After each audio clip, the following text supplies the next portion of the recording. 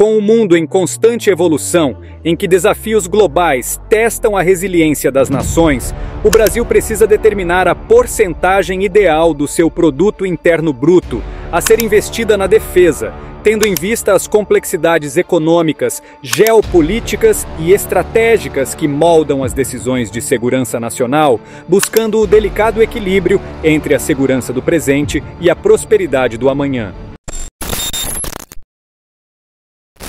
A alocação de recursos para a defesa nacional no Brasil visa determinar a porcentagem ideal do produto interno bruto, o PIB, que deve ser alocada para garantir a segurança e soberania do país. A discussão abrange considerações econômicas, geopolíticas e estratégicas, buscando encontrar um equilíbrio entre as necessidades de defesa e a sustentabilidade financeira do Estado. A segurança nacional é uma prioridade para qualquer nação e a alocação adequada de recursos para a defesa é vital para enfrentar os desafios contemporâneos. Neste contexto, o Brasil, com sua extensa fronteira e papel crescente no cenário internacional, enfrenta a questão crítica de determinar a porcentagem ideal do PIB a ser investida na defesa. Análise econômica. A análise econômica examina o impacto de diferentes níveis de investimento em defesa no orçamento geral do país. Considerando fatores como crescimento econômico, inflação e demandas sociais, busca-se estabelecer um equilíbrio que permita investimentos robustos na defesa sem comprometer o desenvolvimento de outros setores. Geopolítica e ameaças emergentes. A avaliação das ameaças emergentes e das mudanças no cenário geopolítico é crucial para determinar a porcentagem do PIB alocada para a defesa. A análise inclui considerações sobre cibersegurança, terrorismo e conflitos regionais, identificando as capacidades necessárias para manter a segurança nacional diante desses desafios. Estratégia militar e modernização. Uma parte significativa dessa análise é dedicada à avaliação das necessidades específicas das Forças Armadas será considerada a modernização de equipamentos, treinamento de pessoal e desenvolvimento de tecnologias estratégicas. Isso permitirá determinar os custos associados à manutenção de uma defesa eficiente e competitiva. Comparação internacional. A comparação com nações similares em termos de tamanho, população e desafios de segurança proporciona uma perspectiva global, também é examinado como outras nações distribuem seus recursos para a defesa em relação ao PIB e quais lições podem ser aprendidas para otimizar os investimentos no Brasil. Reconhecendo a complexidade da questão, pretende-se oferecer uma base sólida para futuras discussões políticas e estratégicas, buscando um equilíbrio entre a segurança nacional e a sustentabilidade econômica. Um tema antigo mas esse tema não é de agora, ele já vem sendo discutido há algum tempo no Brasil. No ano de 2014, o então ministro da Defesa, Celso Amorim, fez a seguinte explanação: abre aspas. O Brasil é uma potência nas áreas alimentar, ambiental e energética. São nesses segmentos em que a escassez de recursos, face à crescente demanda mundial, pode gerar crise, como reconhecem estudos feitos por entidades conceituadas de diversas nações. Temos assim que nos precaver contra possíveis ameaças aos nossos recursos e à nossa soberania. Fecha aspas. Nessa época, Celso Amorim dizia que o objetivo era aumentar os investimentos em defesa, que não passava de 1,5% do PIB para 2% do PIB em 10 anos. A média mundial da época era de 2,6% o PIB e os gastos. Segundo o portal da Câmara dos Deputados, a área de defesa tem 124 bilhões e 400 milhões de reais no orçamento de 2023, mas 78,2% é destinado à despesa com pessoal.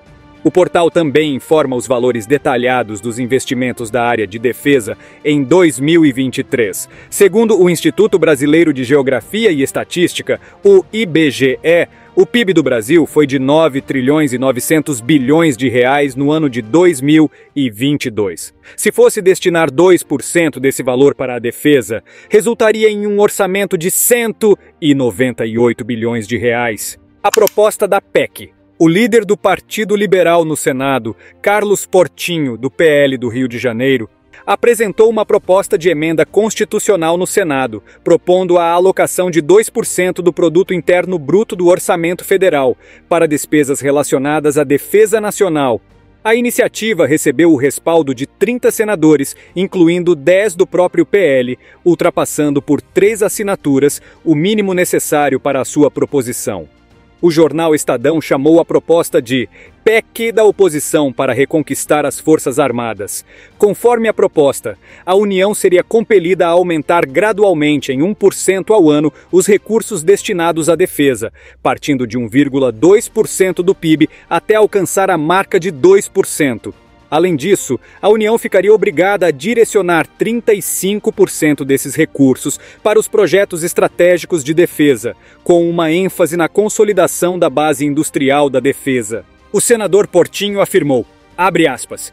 Nossas forças não podem ser sucateadas. Precisamos de investimentos para a defesa da soberania, atendimento às calamidades públicas, combate a crimes, entre outros pontos. Mas quero destacar uma indústria promovida pela aeronáutica, exército e marinha. As três forças são fundamentais no progresso científico, na pesquisa, na capacitação tecnológica e na inovação. Fecha aspas. A proposta é quase idêntica à que foi defendida pelo comandante da Marinha, o almirante Marcos Sampaio Olsen.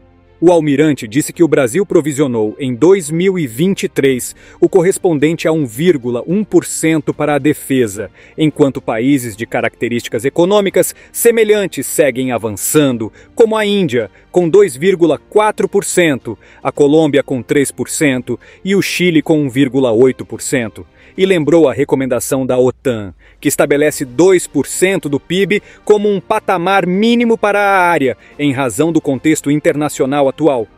Segundo o almirante Olsen, estudar possibilidades para elevar gradualmente o orçamento da defesa é, portanto, imperativo para que as Forças Armadas atinjam a capacidade operacional plena. O senador Carlos Portinho apresentou uma PEC para destinar 2% do PIB às Forças Armadas.